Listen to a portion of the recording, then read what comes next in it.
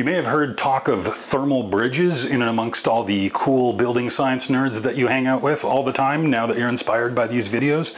What is a thermal bridge? A thermal bridge is, well, simply a bridge through a thermally insulating material. So think of like a steel I-beam passing through an otherwise well-insulated wall that steel I-beam is going to conduct heat energy from one side to the other, completely bypassing the insulation of the wall. This can also be a wood beam passing through the same wall. Even though it's less conductive than the steel, it's still a thermal bridge.